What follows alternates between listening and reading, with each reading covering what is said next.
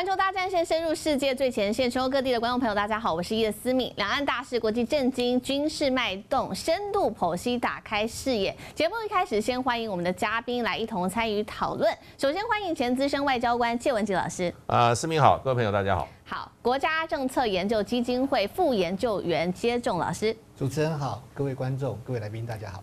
美国共和党前亚太区主席方恩格拉斯。大家好。好，观众朋友，我们持续要带您来关心的是，在本月十四号发生的这一起酿酿成两死的事件。外界现在也持续在追问这起事件的录影画面到底说何时会公布呢？要来把真相完全的厘清。好，我们带观众朋友来看到，现在针对这件事情呢，最新有哪一些消息了？海巡署在今天上午发表了最新声明，海巡署的 CP 一零五一艇没有配备全程的。全船的监视系统执勤的时候，需要同仁以各级的舰船艇配备的手持式摄影器材来搜证。但是呢，这个搜证的器材是放置在架舱的。海巡署还说，没有能够全程录影，不会影响到它的真实的。真相始末，那到底有没有发生碰撞的部分？金门地检署说不能证实有，也不能证实没有。好，到了这个海巡署这边的说法是什么呢？是说呢，在高速的追逐下，船身有多次的接触。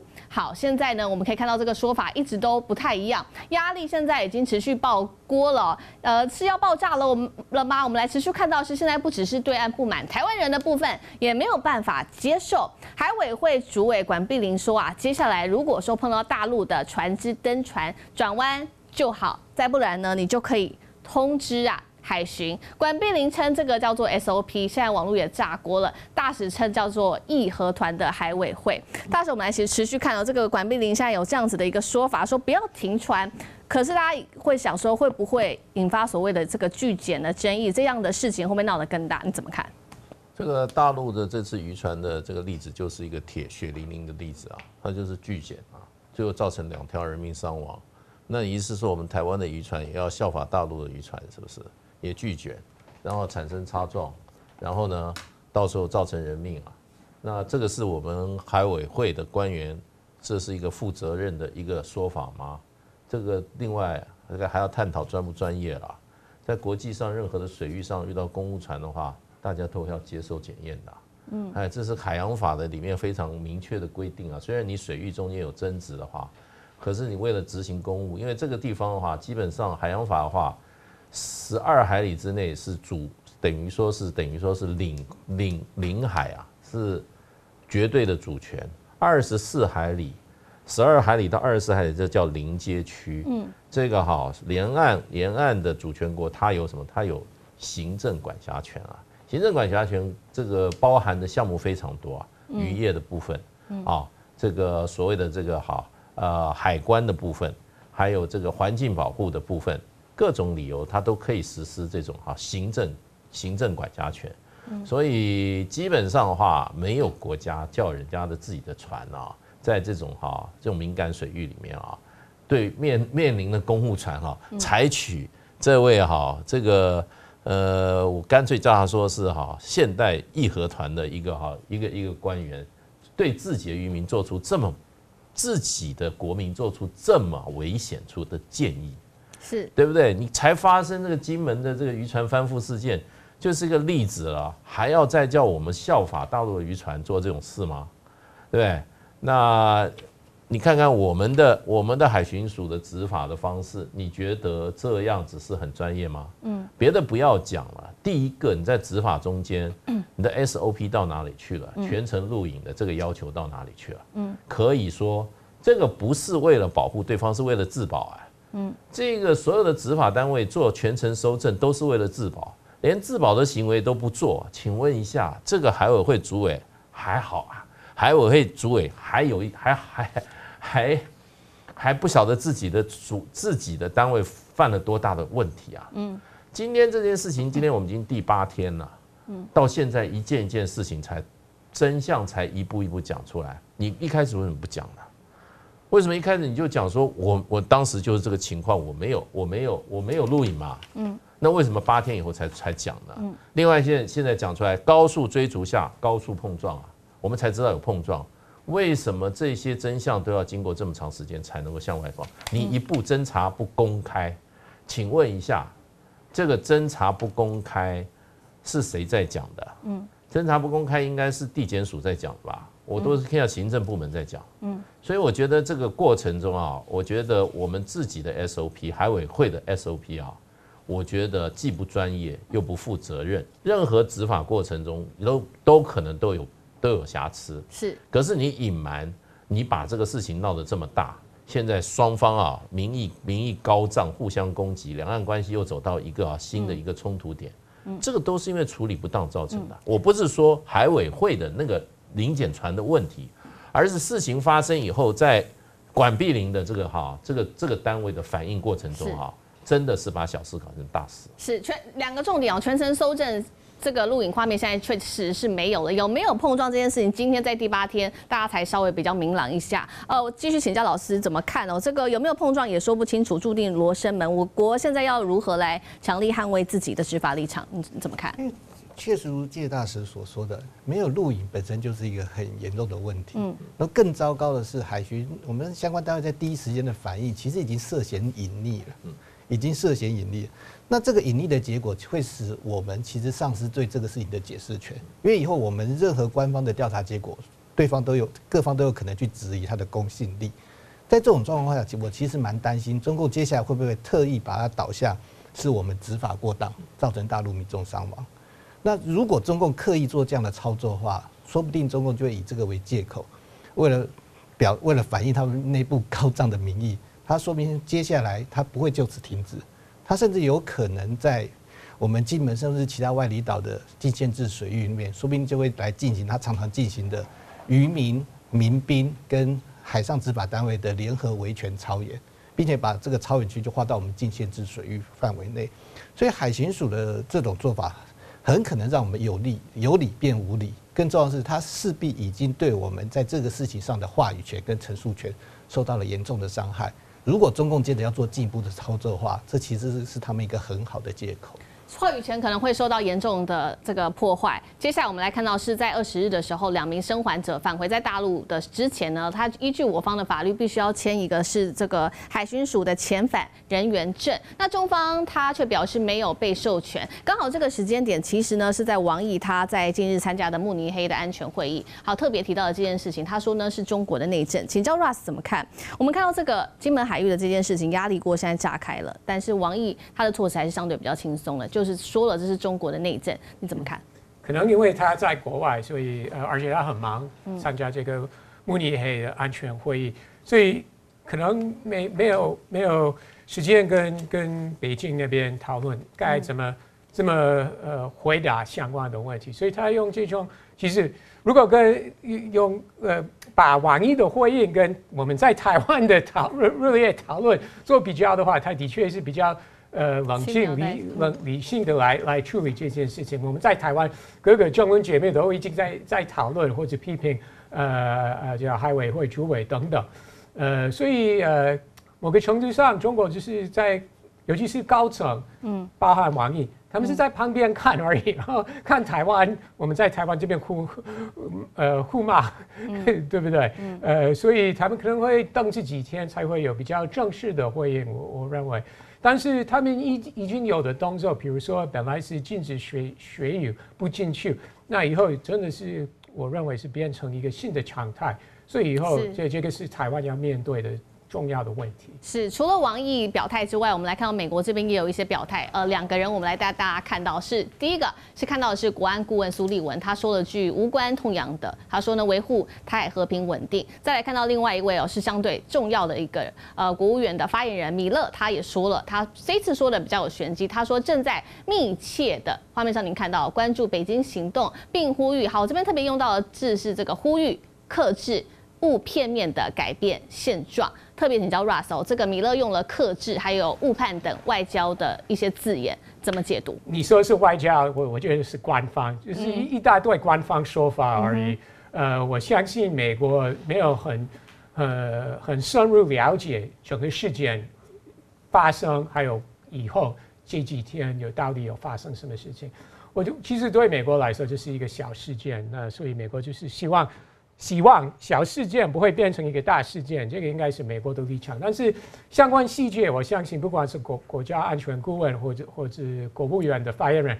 相关细节他们根本不不不懂不了解，也不会花时间去了解。好，我们继续来看下去，这是我方的特定人士密切的进行配合的一个媒体啊，路透社。我们来看到他在去年的时候，二零二三年曾经表态说呢，五月天被逼表态，却又没有这个引述消息来源。这一次又有另外一位是这个不具名的台湾资深安全的官员，他怎么说呢？他说中国无意让惊吓。海域的争端演变成一宗国际事件。他还说呢，北京以这起案件为借口，进一步要对总统赖清德来施压。好，大使你怎么看这一位官员这个时候对外媒说这一些话，你怎么解读？我觉得这个是常事啊，对啊，嗯，这本来就是这没有第三方啊，那那跟第三方有什么关系？嗯，对不对？嗯。那就是说，这个是一个民事事件啊，嗯，只是说官方的处理的问题啊，官方处理的态度的问题啊，嗯，任何这种事情在国际上发生的也也很多啊，嗯，你知道国际上在水域上的法律规范，不管是案例法律的话，非常完备的，这种事情非常的多。你说一个海巡署的海海委会主委是叫我们渔船说接受这个哈公务船的临检的时候啊，你不要理他，这个是全世界的笑话。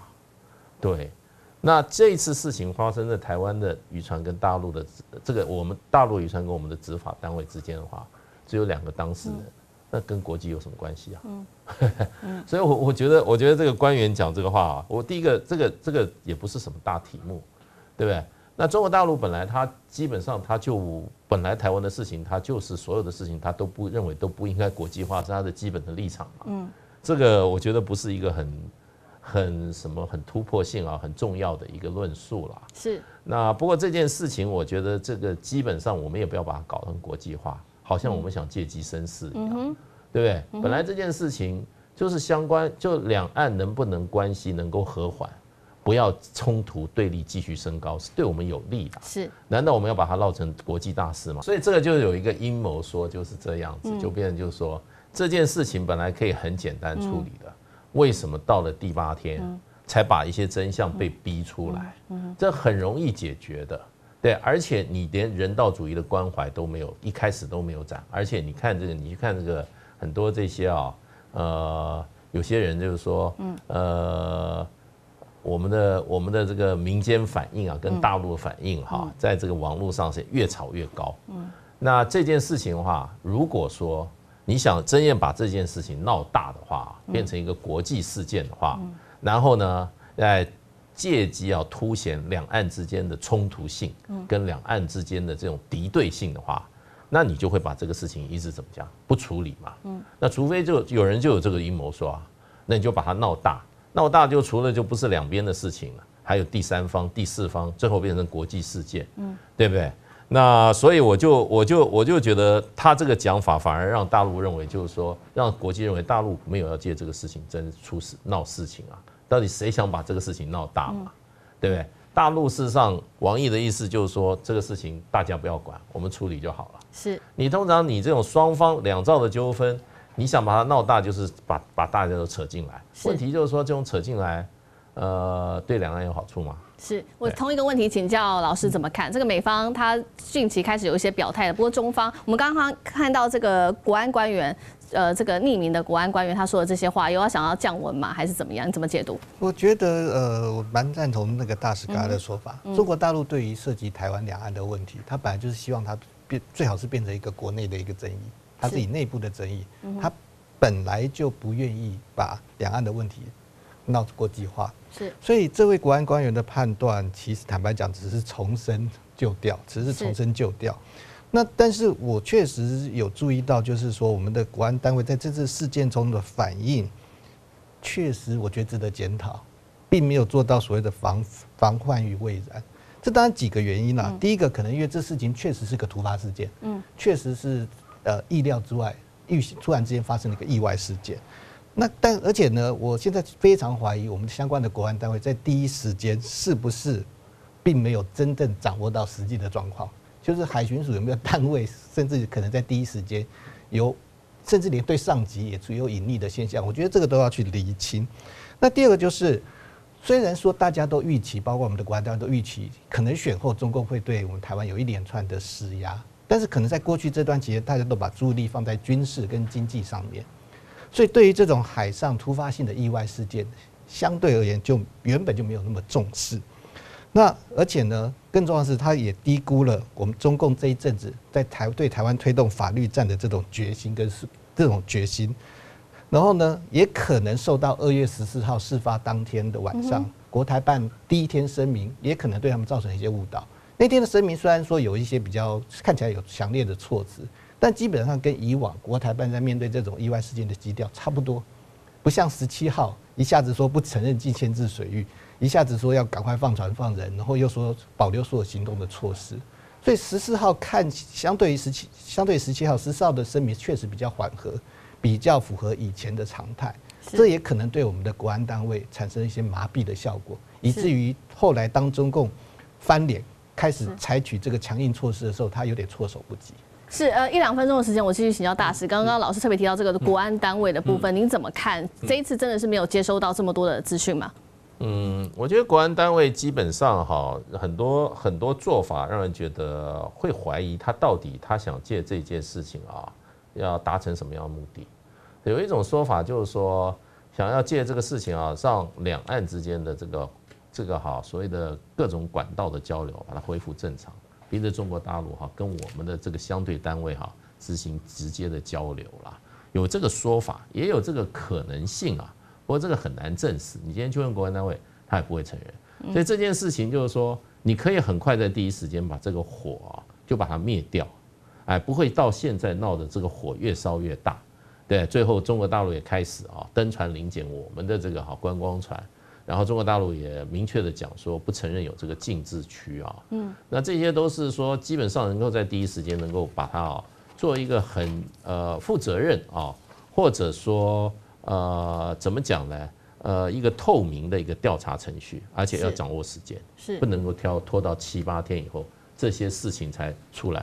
我不相信这件事情到了第七天他才知道，对，才知道我没有录影带。是，我认为可能在七个小时他就知道了。是，那为什么到了第七天才讲出来？嗯，然后这个碰撞，高速碰撞这四个字，在过去从来没有出出从这个官方口里相关单位出来，我难道经过七天才知道吗？是，所以这个问题为什么要隐秘这么多事实啊？我也说隐秘是可能的，这个好，我没有说它完全隐秘。因为他有可能真的内部沟通有问题，或者说就是一个非常没有经验的团队。是，那问题就变成就是说，你一个七八天以跟七八小时就把这些这两项简单的事实讲出来的话，那今天的情况不一样。是，那当然就是说，任何如果说我们就假设了，今天是我们的执法单位在国内执行一个法令的时候，它也造成人命伤害的时候，你政府能够用这种态度处理吗？是，对不对？还说我侦查不公开，这个不是很奇怪吗？